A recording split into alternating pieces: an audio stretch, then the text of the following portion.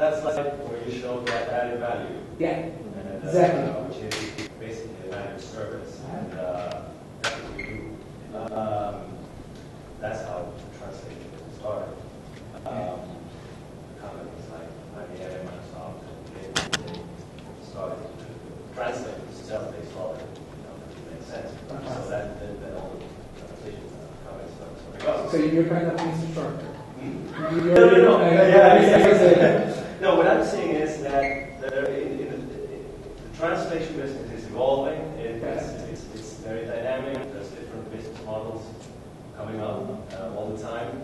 I was just wondering how that, that nice slide that we had before, that path from the supplier to the end user, uh, how it, it, it impacts on the, on the final cost, or, or how, how it translates, it adds, or there is added value. There is added value, but uh, how it translates in the translation industry now, there are different converging and contrasting trends Okay. to produce at lower costs and avoid that, that kind of bring, uh, uh, uh, facilitate in a way uh, uh, the production to, to, of, of the translation to the end user. There's different things coming up like crowdsourcing and uh, um, different models that are, that are coming up. Um, but basically, what we do, our industry is it's also a managed service. It's, it's, it's, it's logistics. We, we also do logistics with in a proportional. uh, No, I understand. of course, Sure. But uh, uh, that- that's, that's, I think it's very interesting,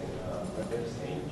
The, the idea was I'm a service provider like, like you all, and I was uh, kind of uh, like presenting this just for this final discussion of thinking how can the translation, not essentially some translation, so it's more an open discussion for, for you more than for me. Um, how can you uh, overcome the boundaries uh, uh, that you have today, or thinking of something in the box, or how to turn the threats uh, into opportunities. We had a lot, we have a lot of threats. This thing of uh, um, reducing the, the package, it's, it's, a, it's a threat for us because it's, truck is making as money. So how to overcome, how overcome that is uh, it's a situation that we're facing right now.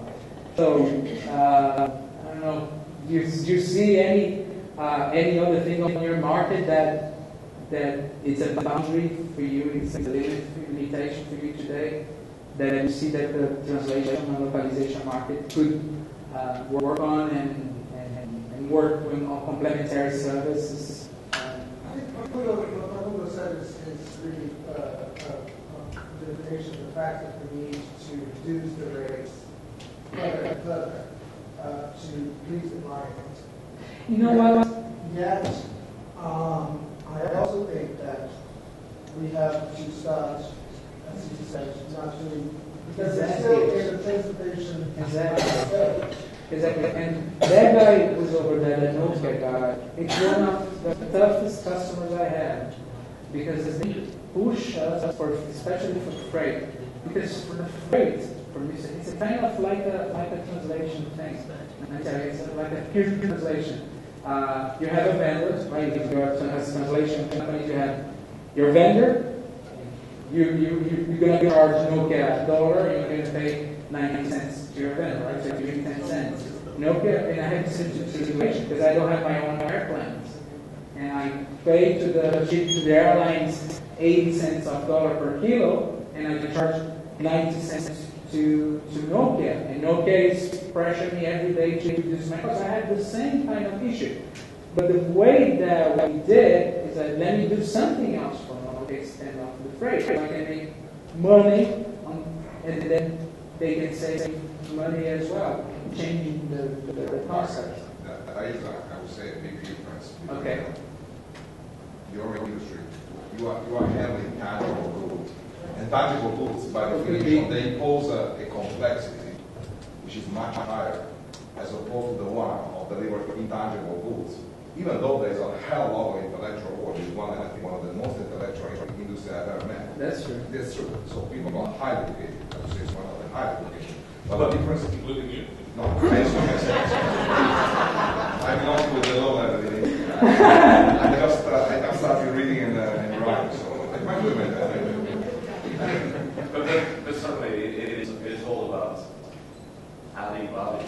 Exactly. Yeah. I think sure. I mean, it's not like the translation industry has been standing lots of examples in terms of uh, bringing localization to the internationalization, uh, sort of testing of products. Uh, so, so there are there are certainly movements that have been made uh, in the past uh, 20 or 30 years, which have really conformed the, the, the traditional translation agency to the quite complex service providers like the, the, the, the big companies like the Lionbridges or, or whoever they are, uh, that, that the service range that they offer to the customers. Hasn't been standing still in any shape. In my, my question to, uh, I would ask you this, whether this, all this, these changes, this evolution, that came from the industry itself or from the client, because sometimes I feel that we are very much under the influence of the decision of the client, so. React. We react, we Uh, don't, I have to, uh,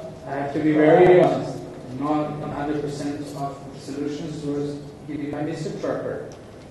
Sure that Cecilia, uh, Cecilia gave him some ideas just to. I have this problem. Let me give it to someone else. That happens a lot. Happen a lot of times. It does. It's sure happening today. Sometimes I have big opportunities that the customer and I tell myself, why didn't I think that about that before? So Well, uh, that happens. I also think that they, they bring up, they come up with technologies coming up to being developed. Yeah. That without certain technologies, there wouldn't be the potential to develop uh, different sorts of businesses. And, um, and how far from your core business Mhm. do you get? Because I see some localization, that there's this concern, like, I used to work for a big company, Bowne Global Solutions, and they started to, and they were also printers, and they were also, they also created websites, and they were like adding value to the customer because they created the website, and then we would translate the website into several languages. But all of a sudden, someone told us, you know, we are very far away from our core business. Well, it's a very good question. And could be that one day, like General Electric did talk about a lot of times, if you think about General Electric, they're big, they become small. They're big, they become small because they open so many doors. The doors. sole, in any business case, like university, the sole conglomerate which is successful, basically consolidating different levels with the soul in the world. That's one thing. The other, the, the in your industry, that in your industry, you not basically get part of the chain. You are, you are basically reinforcing one part of the chain to the other. So you are still staying the same business, and there is a reinforcement one track. In our case, it's different. We are delivering a material service, which is very different. And the other big difference is that there is no barrier of entry. If you want to, and so I know, compete with the Schenker or with the DHL, the barrier of entry is huge. It's knowledge, the infrastructure you have, it's the capital you have. In order to industry, you don't need to, to start an IPO and a demand. You can start your business and a mom and mom and pop shop. And that's a big difference. So the, the competition is fierce, which definitely pushes down prices. That's, I think, possibly one of the biggest our industry, unfortunately. But responding to your question, if you think about core business, we don't our core business, core business anymore because we opened so, so many doors that today we are manufacturing engines. And tomorrow we see you like uh, opening and, and overcoming the boundaries. But we see them as, as opportunities. And it could be that tomorrow this market that I work for go to the other way. I mean, uh, becoming uh, a peer freight. I don't believe on that, but it could be like that with a lot of companies and big conglomerates. But I really believe that for the for the at least for like for 50 or 60 years, you're gonna evolve much, much more. Uh, on that. Yeah. So if you ask me what is my core business, if I'm far away, I'm not, I'm not sure what is my core business. Oh, but you could extend the beginning of the band, you know, and we just eliminate. That's, that's a very good point. You know, some of the, for example, Nokia, they outsource part of the um, uh, production with Flextronics of Foxconn. if Foxconn. mis- Foxconn. Foxconn is a company that they do everything. They, they, these guys they create, they design, but Foxconn is the one who really produced this cell phone. And my company was planning on doing things like Foxconn, but we couldn't because Foxconn is our customer. So they, they, they handle freight from that. So we also have our